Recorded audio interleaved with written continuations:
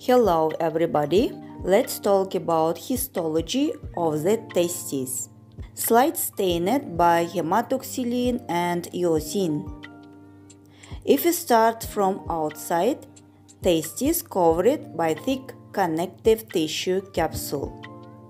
Parenchyma of testes divided into multiple lobules.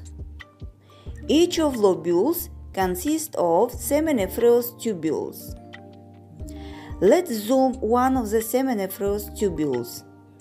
And at the periphery of these tubules, we can see Sertoli cells with lightly stained nucleus.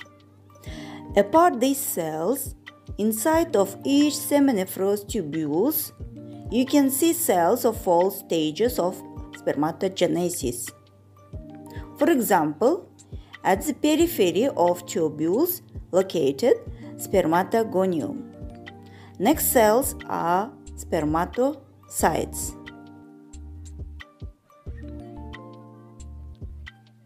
and spermatids. Between seminiferous tubules are visible interstitial cells or Leydig cells with large nucleus and eosinophilic cytoplasm. The next slide is prostate gland, stained by hematoxylin and eosin. Histologically, prostate gland is tubular alveolar gland.